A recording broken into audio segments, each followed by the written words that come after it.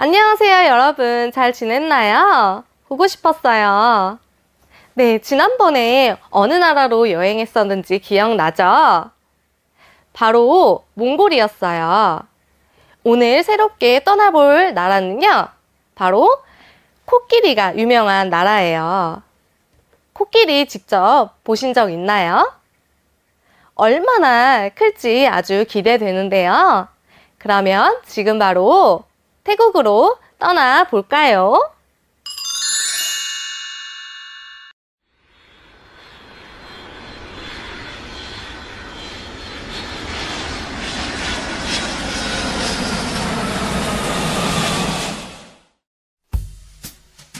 이건 태국의 국기예요. 여기는 태국 국립공원의 모습이에요.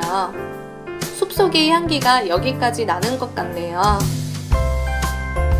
이곳은 나무들 사이로 보이는 해변의 모습이에요. 정말 멋지네요. 그리고 태국엔 이렇게 멋진 섬들도 참 많아요. 이건 전통 의상을 입은 여인들의 모습이에요. 왕관이 굉장히 화려하고 크네요. 이렇게 전통 의상을 입은 여인들이 춤을 추며 공연도 많이 해요. 그리고 코끼리 공원을 가면 이렇게 큰 코끼리들도 많이 만날 수 있어요. 마지막으로 아이가 코끼리를 만지고 있는 모습인데요. 왠지 코끼리와 아이가 친구처럼 가깝게 느껴지는 것 같아요. 오늘 여러분들과 이 모습을 그려볼 건데요. 잘 그려볼 수 있겠죠? 먼저 땅을 그리고 앞에 주인공인 코끼리와 아이를 크게 그리고 배경을 그려줄 거예요. 지금은 그냥 보기만 하세요.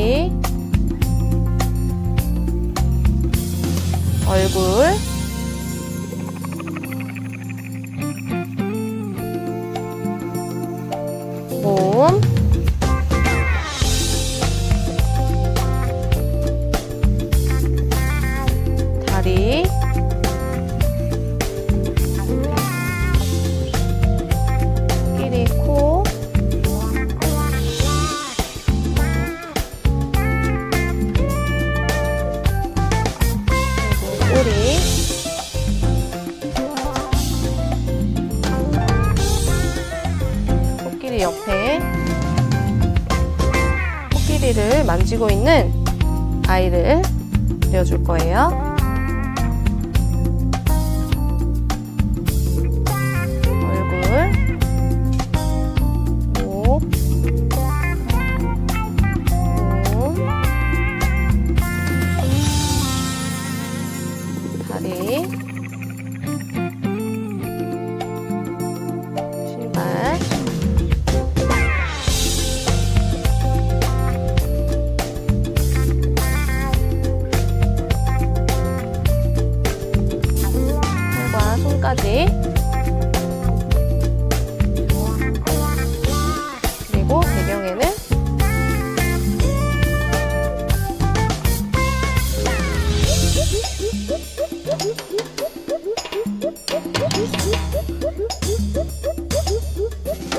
나무들을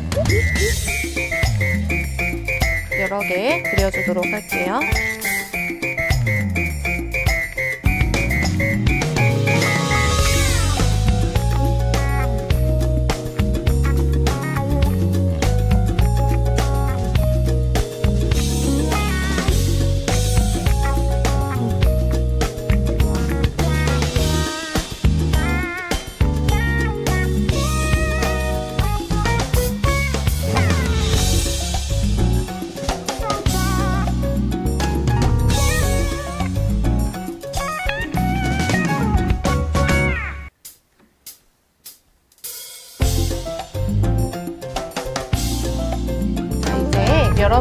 한번 그려보세요.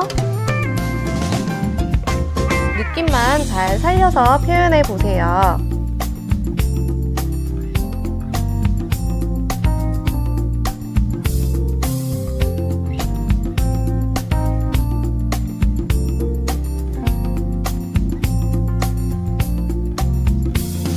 다 했으면 자세하게 그려볼게요.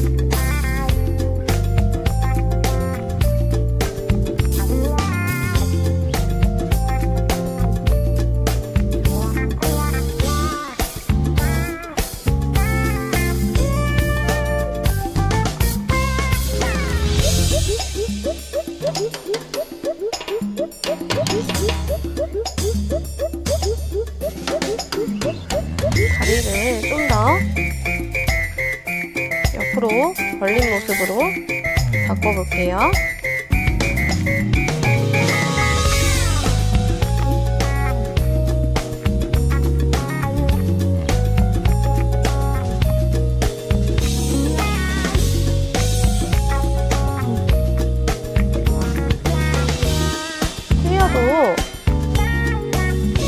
지우개로 붙이면 됩니다.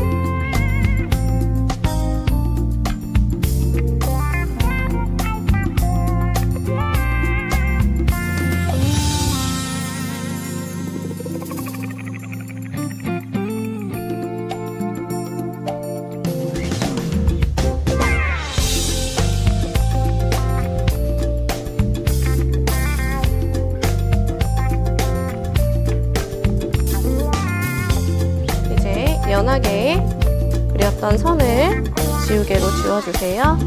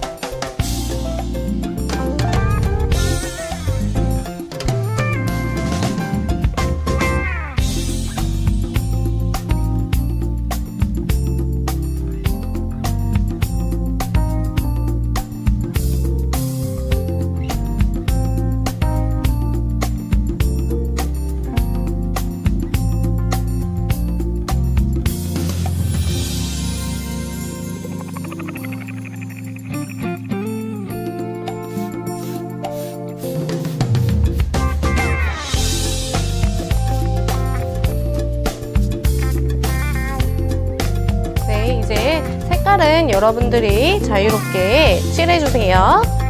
다 완성됐어요, 여러분. 네, 오늘 수업은 어땠나요? 코끼리가 아이에 비해서 굉장히 컸죠. 지상에서 가장 큰 동물이 코끼리라고 해요. 우리 친구들이 얼마나 코끼리가 클지 상상해 보면서 아주 크게 표현해 보세요. 여러분들이 좋아하는 색깔로도 알록달록하게 칠해봐도 재밌을 것 같아요. 네, 그러면 다음 시간도 기대해 주세요. 안녕!